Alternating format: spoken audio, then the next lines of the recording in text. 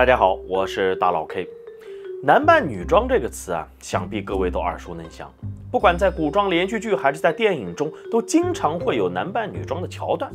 而随着时代的进步，民众接受程度的提高，这种行为啊，在现实中也多了起来。而互联网的发展，则让他们找到了展示的舞台。有些扮相特别漂亮的，哎，那粉丝量也是相当庞大。而随着网民对这一领域关注度的不断提升，一个网络化的称呼呢，也就此出现，那就是我们常说的“女装大佬”。听到这儿啊，经常看我们节目的朋友多半已经猜到了，没错，咱们本期要来讲述的就是一起与女装大佬有关的案件。此事件呢，从发生到抓获凶手，总耗时不足半个月。但要论复杂离奇程度，那真是世所罕见，甚至到现在都有一些问题存在争议。那么废话不多说，故事呢正式开始。蒂芙尼·麦金尼是一位生活在美国佛罗里达州坦帕市的单身妈妈，她的工作呢是在离家不远的一个旅馆担任服务员，而工作期间啊，两个孩子则由外婆来照看。不过，二零一三年五月二十八日这天出了点小问题。蒂芙尼生病了，于是他向老板请了假，打算独自在家休息一天。可当此事被安东尼·里知道后啊，这位向来热心的好友当即决定要去吉纳西街，也就是蒂芙尼的住处，去给人家做一顿晚餐。哎，话说安东尼啊，是一位四十九岁的非裔男子，平日里呢都在一家名为威尔逊的殡仪馆工作。由于殡仪馆距离吉纳西街只有几分钟的车程，非常方便，所以蒂芙尼没有拒绝安东尼的好意，乖乖的在家等着好友的前来。时间呢，来到当天下午的五点左右，安东尼骑着自行车如约而至。伴随着他的到来，家里的气氛也瞬间变得轻松快乐起来。两人在厨房一边做饭，一边聊的是热火朝天。就在这时啊，哎，蒂芙尼突然觉得有点内急，于是便去了卫生间。可他刚坐上马桶，就听见家里的大门被人敲响，接着呢，就听见了一个陌生男子巨大的叫嚷声：“给我钱，快！家里还有其他人吗？快把我的钱给我！”好家伙，这分明是遇到抢劫了。面对这种情况，作为女性，蒂芙尼哪还敢走出卫生间啊？当然，她也没有傻愣着，而是立即拿出手机拨打了九幺幺。为了不被外面的人发觉，她用非常微弱的声音告诉接线员，家里呢闯入了一名歹徒，自己正处于危险之中。可也许是因为声音太过细小，对面根本就听不清楚啊。于是接线员只能反复追问，到底发生了什么事儿。正当蒂芙尼想着怎么才能让接线员听清呢，卫生间外突然响起了连续不断的砰砰声，声音之大，连电话那头都听到了。好在接线员反应也不算太慢啊，他迅速开口道：“我听见了枪声，保护好自己，女士，我们会尽快赶到的。”说完呢，便挂上了电话。此时此刻，蒂芙尼除了不停地向上帝祈祷外，几乎别无他法。可就在他瑟瑟发抖、等待救援之际，意外又发生，因为屋外呢传来了几个熟悉的说话声，很显然，这是外婆送两个孩子回来了。见此情景，别无选择的蒂芙尼只能硬着头皮冲出了洗手间，嘴里呢还大声喊道：“别进来，千万别进来！”没曾想，话音刚落，大门就被人打开了。万幸的是，歹徒已经离开了现场，算是虚惊了一场。然而，刚从惊恐中缓过神来的蒂芙尼，突然就想到了一些什么事儿。接着呢，他便在卧室门前的地上发现了身受重伤、奄奄一息的安东尼。好在报警及时，警方和医务人员很快就赶了过来，并第一时间将安东尼送往了医院，展开了抢救。不过，当坦帕警局的唐切尔·乔尼克警官在了解完案发过程且勘察过现场后，却有种说不上来的感觉。咋回事呢？话说这案发地吉纳西街啊，本身就属于犯罪率极高的街区，这个地方啊，因药品家暴、抢劫而引发的案件可以说是比比皆是。而光从蒂芙尼的描述来看，他遭遇的无疑就是一起随机的入室抢劫案件。但让人感到奇怪的是，现场并没有被人强闯过的痕迹。换言之，应该是安东尼自己开的门。为什么呢？难道是他认识歹徒？这是其一。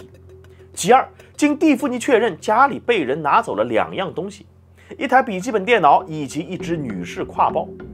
从这点看啊，犯罪动机貌似的确是抢劫。可除了以上两件原本就放置在最显眼位置的物件外，其余什么都没丢。有人要说了，哎，是不是嫌犯没有找到啊？还真不是，因为现场的抽屉或者橱柜都没有被人打开过。哎，换言之，人家不是找不到，而是根本没有找。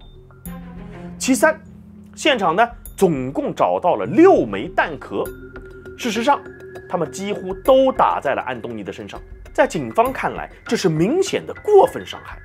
其次，如果这是一起随机案件，歹徒照理说呢不应该选择蒂芙尼的房子，原因是他家的位置正好在一条死路的尽头啊！真要是运气不好遇上巡逻的警方，连跑都跑不掉。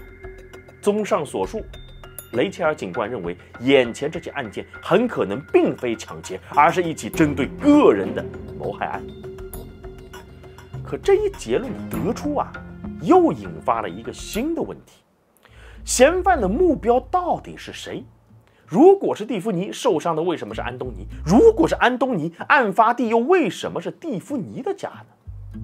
麻烦的是，除了弹壳以外，现场没有留下任何有关于嫌犯的信息。鉴于这种情况呢警方只能把希望寄托在了两名当事人的身上。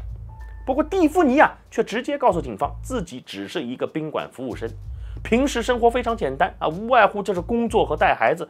他实在想不出得罪过什么人，以至于会引来杀身之祸。所以问题好像只可能出在安东尼的身上。可他正在医院抢救啊，不可能接受询问。为了不浪费时间。调查人员决定先从家人和朋友口中了解一下此人的背景。可你们猜怎么着？不问不知道，一问吓一跳。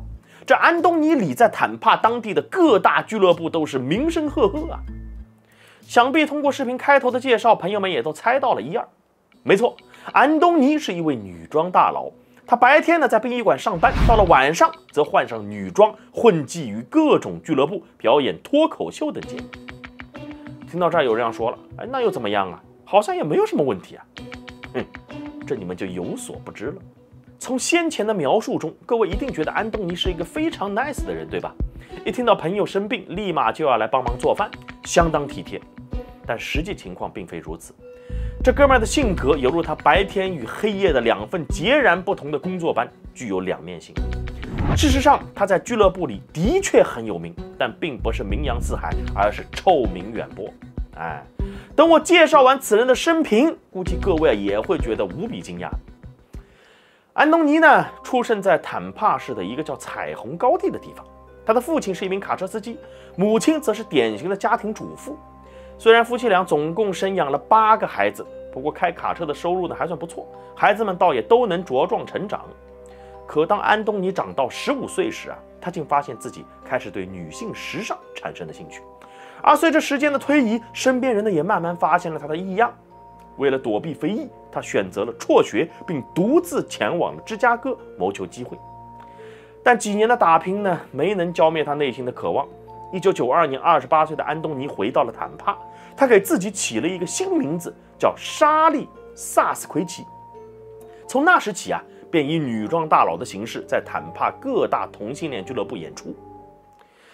不知道观众里有多少人对女装大佬这个领域有所了解啊？虽说只要自己愿意，谁都可以男扮女装。就像我经常会收到一些粉丝的私信啊，要求我出个女装视频啥的。但可以想象的是啊，我要真来一女装，那画面绝对惊悚。由此可见，要想让人接受，那自身条件也一定要达标，最起码扮上之后要像个女人才行。不巧的是，安东尼体型魁梧，脸部轮廓分明，不管怎么化妆，一看就是个糙老爷们儿。好家伙，那扮相，人家看一次啊，可能觉得挺新奇，看多了就受不了了。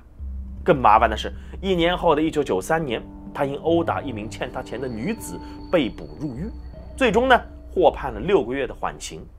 这对他的演艺事业又是一次沉重的打击。没曾想，就在缓刑期间啊。有位朋友向安东尼提了一个建议，反正你在坦帕也混得不咋样，还不如去迈阿密碰碰运气。为啥有这么一说呢？道理很简单，不同的城市流行的东西不一样。这迈阿密啊，就特别流行女装大佬，当地甚至还有专门的选美比赛。正因如此，那里民众的接受程度也远高于其他地区。就这样，在半年缓刑期结束后，安东尼便背起了行囊，再次离开家乡，前往了迈阿密。而且这一次啊，他学聪明了。由于深知自己的扮相比较恐怖啊，除了给人带来猎奇感以外，无法长久。于是他把自己演出的内容呢，从唱歌跳舞改成了脱口秀。为了吸引更多人的关注，还专挑争议话题，甚至呢拿现场观众来开刀。不但言辞犀利，而且呢不留任何情面。为了追求现场效果，那真是啥都敢说。果不其然，这种策略呢，让他迅速火了起来。南海岸旺达的名号也传遍了大街小巷啊！这里我插一句啊，南海岸旺达呢是安东尼到了迈阿密后给自己起的新艺名。可他火归火啊，当地的俱乐部呢却不怎么欢迎他，因为只要有他的地方必有争端发生。道理很好理解啊，所谓争议话题，那肯定存在正反两派的支持者啊。你帮了其中一派，那另一派就会觉得不爽。再加上旺达说的话又特别难听，所以呢，经常会与台下的观众产生争执，甚至发生斗殴。原本呢，这已经让俱乐部老板们够糟心的了。没想到，由于长期混迹于夜场这种地方啊，安东尼居然染上了药瘾。这下好了，嗑了药的安东尼更是口无遮拦，那是开足马力胡说八道啊！这使得原先抱着支持态度的观众也对他产生了厌恶感。至于那些本来就讨厌他的人，那更是恨得咬牙切齿。就此，安东尼的名号从南海岸旺达变成了南海岸最不受欢迎的人。但即使是这样，各家俱乐部呢，还都是睁一只眼闭一只眼的态度。但慢慢的，他们却发现了一个问题：只要跟安东尼有过过节的人啊，都会因各种原因被警方逮捕，比如嗑药啊、斗殴之类的。可由于这些人呢确实存在违法行为，所以也不好说什么。然而随着时间的推移，这种事情发生的次数是越来越多，甚至连俱乐部老板或者一些完全无辜的人都受到了牵连。原本大家还不清楚是怎么回事啊，直到一个偶然的机会，华沙俱乐部的总经理叫麦克斯韦·兰德福德，无意中啊从一辆警车边走过时，居然发现安东尼正坐在后座与一位警官窃窃私语。仅仅十分钟后，警方就冲入了俱乐部。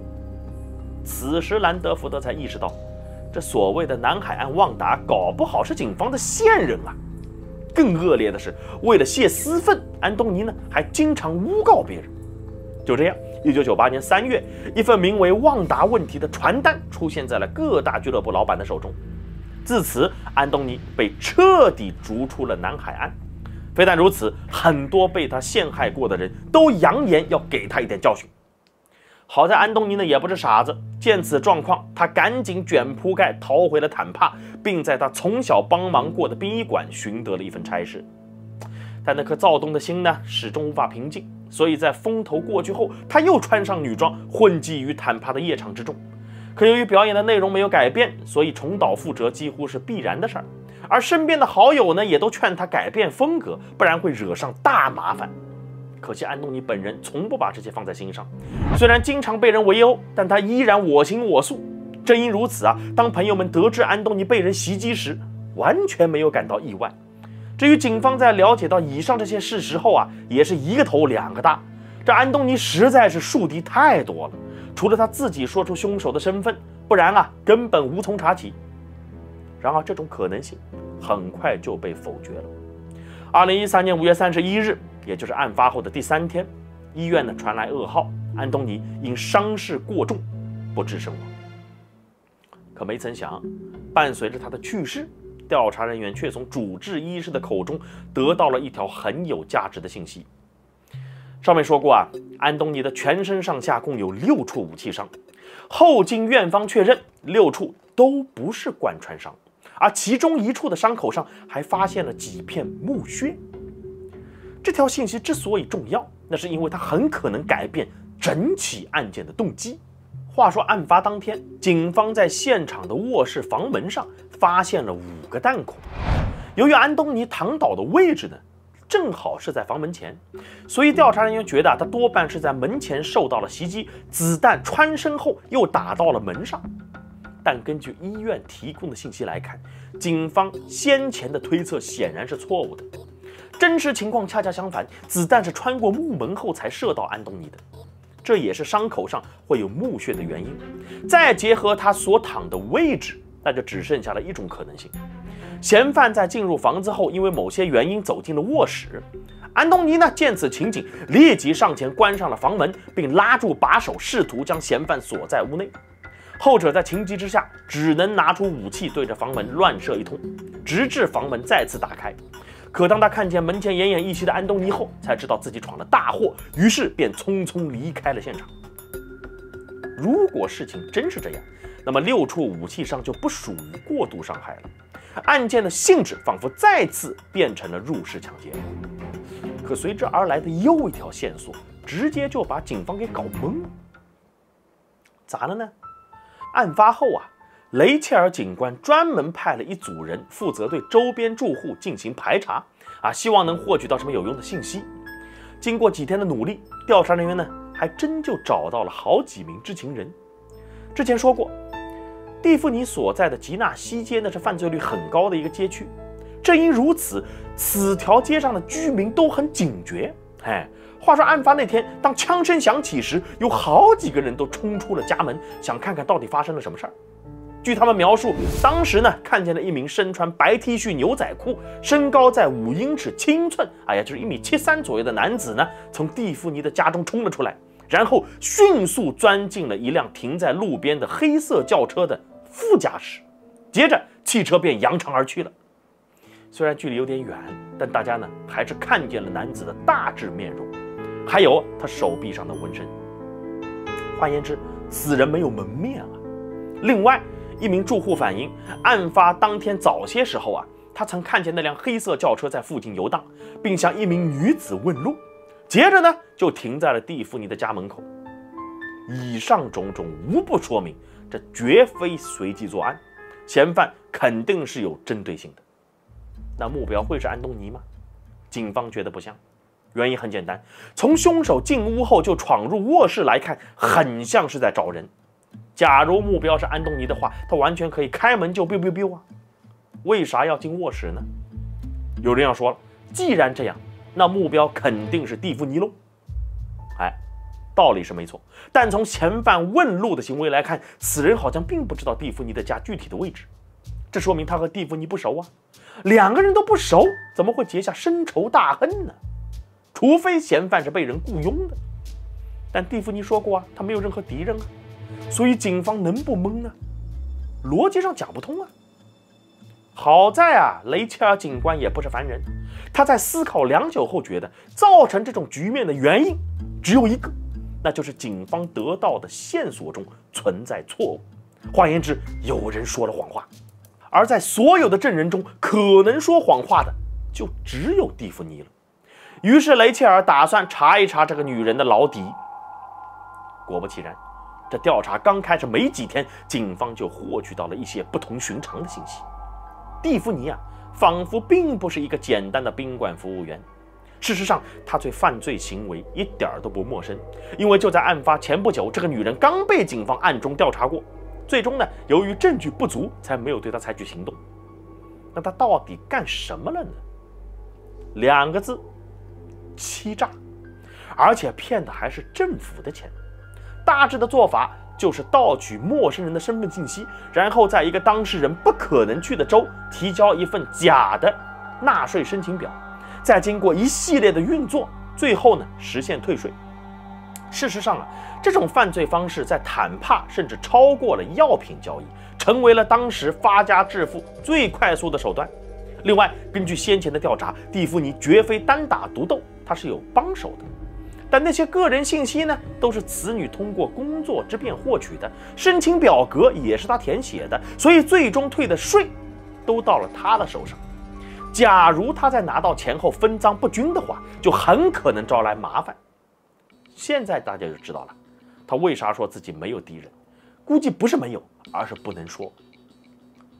正当警方打算查查这个诈骗集团的其他成员时，一条重要线索的出现。使得调查人员当即就改变了计划。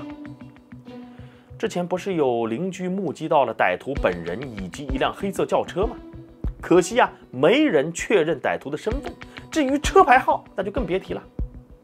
万没想到，案发几天后，一个名叫特拉维斯·哈里斯的男子竟主动找上了警方，并直接奉上了车牌号。话说，特拉维斯啊，就住在蒂芙尼家对面。案发时，他刚好开车回家，所以全程目击到了歹徒上车逃跑的全过程。更重要的是，他不但看到了，而且他还一脚油门跟了上去。虽说最后啊跟丢了，但却记住了车牌号。哎，就这么简单。后经确认，黑色轿车的主人是一个生活在莱克兰、名叫艾伯尼·福迪的女子。现在各位一定觉得警方必将通过这条信息顺利抓获真凶，对吧？告诉大家，实际情况并非如此。艾伯尼说啊，案发那天他将自己的汽车借给了一个名叫库尔特的朋友。至于库尔特把车开去了哪儿，他并不知晓。于是呢，警方又把库尔特传唤到了警局。可当此人得知自己可能卷入一起谋害案后啊，吓得是抖如筛糠啊！还没等警方问话呢，他就一股脑的把案发当天的经过交代了一遍。但当警方听完之后，却是郁闷至极啊！这个库尔特是和朋友一起啊合作开黑车的，也就是那种无证经营的出租车。案发前啊，他接到了一笔业务。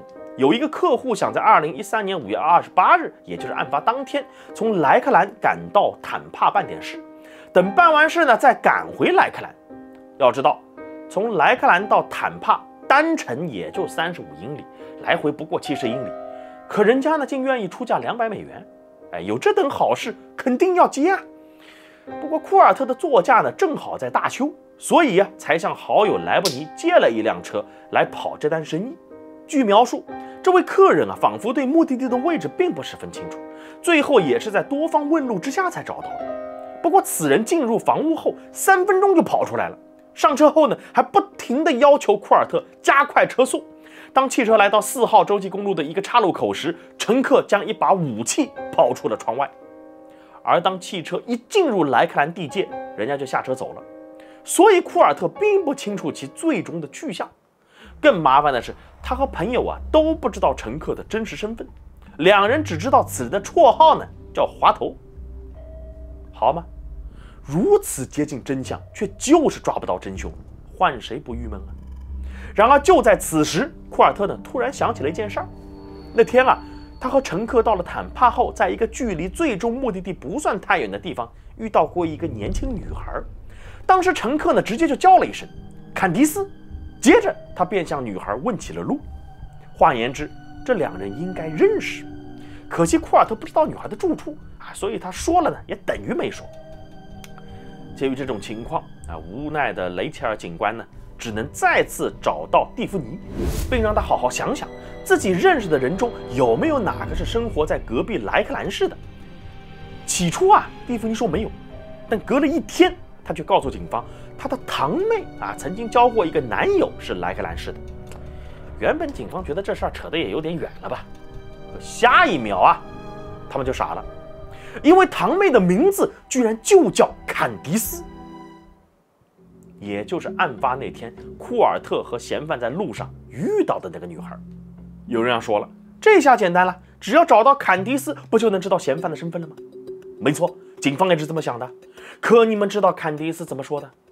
他承认案发当天曾在一辆车里看到过前男友，而且呢还把堂姐家的地址告诉了对方。可这个前男友啊，和我们一般意义上的前男友不同啊，实际两人呢是在酒吧认识的，总共就没处几天。坎迪斯甚至不知道这个男人的全名，对方啊只说自己叫德尔。好家伙，雷切尔听完都快疯了。但不得不说，女探长的思维确实够细腻。当他冷静之后，马上就想到了一件事儿。那个库尔特不是开黑车的吗？据说他的业务呢都是在脸书上接的，而一般人的习惯都是把这类提供服务的账号事先加为好友，等真的需要时呢再找出来联系。因此啊，雷切尔觉得凶手会不会是库尔特脸书账号的关注者之一呢？想到这儿，他当即就打开了电脑查了起来。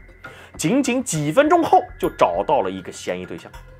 依据有两点：第一，账号的头像与目击者的描述相近；第二，这个账号的名字就叫德尔。当雷切尔拿着照片让坎迪斯和库尔特确认时啊，两人均表示正是此人。很快啊，警方就确认了嫌犯的身份，这哥们儿的真名叫做迪安德尔·托利弗，二十三岁。他从十几岁起啊，就经常因各种暴力行为进出监狱。案发时正处于缓刑阶段，可当调查人员拿着逮捕令来到他的住处时，却发现那里已经人去楼空。见此状况，警方转头就发出了通缉令。不过谁都没有想到，通缉令发出几天后，迪安德尔啊，居然主动投案来了。可你们别以为他是来自首的。这家伙啊，是在街上看见了自己的通缉令，所以跑来警局问问为什么要通缉自己，奇葩吧？当然，警方是不会陪他装傻的。既然来了，哎，那就不要走了。于是呢，当场就送了他一副银手镯。接着呢，便开始了审讯。二零一三年五月二十八日这天，你在干嘛？我一整天都和家人在一起，晚上还住在了奶奶家。你认识安东尼·蒂芙尼或者库尔特吗？完全不认识。我都不知道你在说什么。那你认识坎迪斯吗？没听过。雷切尔警官一看，好嘛，遇上滚刀肉了，居然连前女友都不认。那行啊，咱也来玩点阴的。你知道吗？坎迪斯怀孕了，她说孩子是你的。一听这话，迪安德尔直接就跳了起来。不可能，他在撒谎，我们已经分开很久了。可刚说完，他就知道露馅儿了。当然，警方也知道自己没有抓错人，但自此以后，迪安德尔呢就行使起了缄默权，而且全盘否认自己与案件有关。这可就麻烦了。倒不是说他不认，警方就拿他没有办法，主要是经过调查，迪安德尔的确与安东尼和蒂芙尼啊没啥交集。他要是不开口，那就没人知道此案的真实动机以及背后是否还有涉案人员。但从当时掌握的信息来看啊。嫌犯的目标有较大可能是蒂芙尼，不过这个女人从不承认自己存在敌人。至于原因呢，我们上面已经说过。为了找到事情的根源，警方呢只能对蒂芙尼的好友们展开了排查。结果竟有了惊人的发现：有好几名受访者表示，蒂芙尼啊是有敌人的，对方原本也是他的朋友，但后来啊因为金钱往来上的事产生了分歧，从此交恶。据说，是蒂芙尼吃掉了一笔本不属于他的钱，金额呢高达三万美元。但以上都不是重点啊，重点是这位敌人的身份，他的名字叫做艾伯尼·福迪，也就是迪安德尔犯案时坐的那辆黑车的真正主人。至此啊，警方也推测出了案件的来龙去脉。蒂芙尼通过税务欺诈的手段赚了很多钱。而艾伯尼呢，就是他的帮手之一。根据原本的分成比例，艾伯尼呢应该获得三万美元的佣金，可蒂芙尼啊却把这笔钱私吞了。气愤之下，艾伯尼找到了迪安德尔，让他去找蒂芙尼要钱。如果成功，将会支付其一定比例的费用。后者呢觉得这件事情完全没有难度，只要拿把武器威胁一下，谅他也不敢不还钱。主要这么做没有任何风险啊啊！毕竟蒂芙尼的钱来路不正，他不可能报警说自己的钱被人抢走了，而这些钱是从政府偷来的。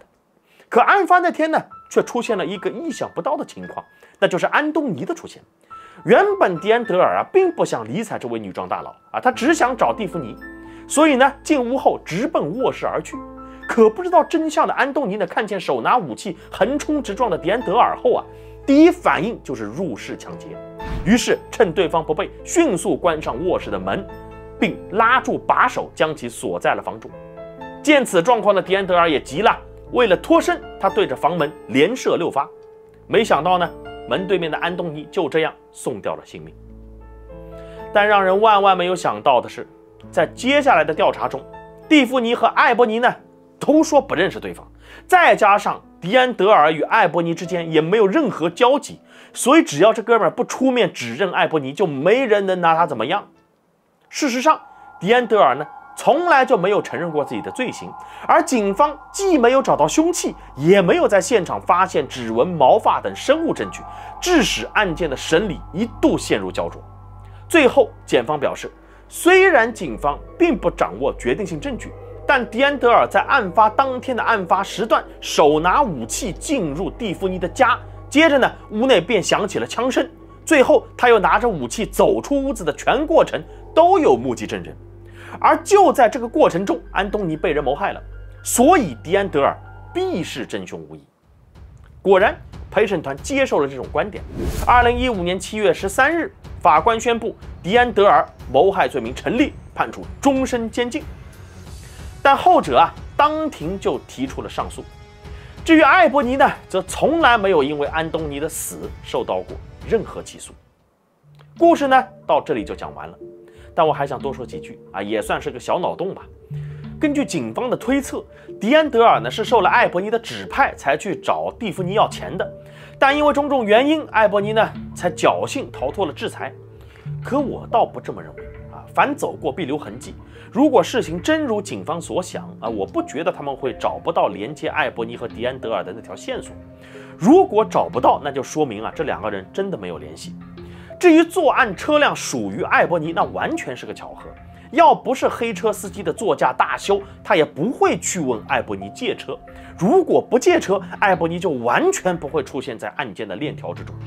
退一万步讲啊，要真是艾伯尼指使，那他一定会把蒂芙尼的详细地址告诉迪安德尔，这是最起码的事儿。可实际情况大家都看见了，迪安德尔对这点并不清楚。不过啊，关于此案的动机应该没有问题。那小子呢，就是去找蒂芙尼要钱的，原因和警方说的差不多。他觉得这笔钱呢来路不明，就是抢了，对方也不敢报警。有人要问了，那他是从哪儿知道有这笔不义之财的呢？各位还记得坎迪斯吗？她是迪安德尔的前女友，又是蒂芙尼的堂妹，她很可能知道姐姐骗税的内情。而坎迪斯和迪安德尔交往期间啊，也极有可能将这个赚钱的手段告诉对方。所以迪安德尔才会在到达坦帕后去找坎迪斯询问蒂芙尼的地址。当然，以上也只是我的一个猜想。此案至今呢还在走上诉程序，希望有朝一日啊真相能够大白于天下。好了，本期节目到这里就结束了。如果喜欢我的视频，别忘了点赞订阅。我是大佬 K，我们下期再见吧，拜拜。